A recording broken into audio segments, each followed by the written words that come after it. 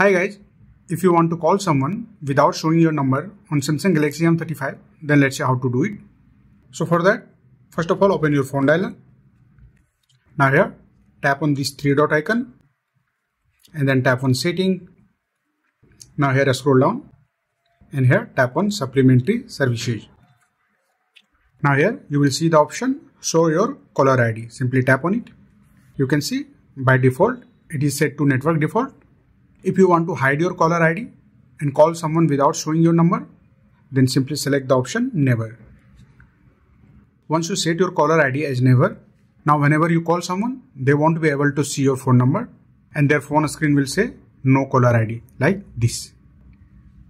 So that's it guys. This is how you can call someone without showing your number on Samsung Galaxy M35. If you like this video, please subscribe the channel.